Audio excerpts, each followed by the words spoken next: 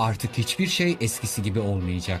Bugün tarihe liderlik anlayışının yerine kolektif aklın yerleştiği gün olarak geçecek. Erdoğan'ın bu açıklamaları AK Parti'nin kurulduğu günden 14 Ağustos 2001'den. Bu yeni parti birinci yaş gününden iki ay sonra seçime girdi ve kazandı. Ancak ne parti iktidar olabilmiş ne de başkanı milletvekili. Erdoğan'ın başbakanlığı yargı kararlarıyla engellenmişti. İlk işi Avrupa ve Amerika'yı kapsayan yoğun bir tura çıkmak oldu. 140 saatte 8 devlet başkanı ile görüşmüş, toplamda 18 ülkeye ziyaretlerde bulunmuştu. Hem de hiçbir resmi sıfatı yokken Batı dünyası AK Parti ve Erdoğan ayaklarının altına kırmızı halılar seriyordu. Hatta Amerika gezisinde FBI tarafından korunuyor, teamülleri yerle bir edip Beyaz Saray'da ABD Başkanı Bush tarafından ağırlanıyordu. Oradan da Danimarka'nın başkenti Kopenhag'a uçtu. Kopenhag'da Başbakan Abdullah Gül'le birlikte Türkiye'yi Avrupa Birliği'ne sokmak için çetin müzakerelere katıldılar. Onları Ankara'da kızgın bir cumhurbaşkanı, şüpheci bir ordu, sert bir medya yani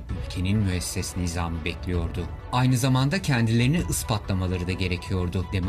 Ve batılı değerlere bağlı olduklarını göstermeleri lazımdı. Zaten milli görüşten ayrılırlarken de parti içi demokrasinin eksikliğinden dem vurmuşlar. Yeni partilerini kolektif bir akıl üzerine inşa etmişlerdi. Şimdi AB hedefiyle bu söylemlerini ete kemiğe büründürmek istiyorlardı. Öyle de oldu. AK Parti'nin ilk yılları Türkiye'nin AB rüyasına en yakın olduğu yıllardı. Demokratikleşme son hızıyla devam ediyor, onu ekonomik büyüme izliyor, Türkiye'ye sıcak para yağıyordu. AK Parti altın yıllarını yaşıyordu. 2004 yılında bu emeklerinin karşılığında aldılar. Mart'ta yapılan yerel seçimlerde neredeyse tüm büyük şehirleri kazanarak birinci çıktılar. 17 Aralık 2004 tarihli Brüksel zirvesiyle de Türkiye AB'ye tam üyelik müzakereleri için biletini aldı. Sadece bunlar da değil, parti en önemli vaatlerinden olan yolsuzluğun da üstüne gidiyor.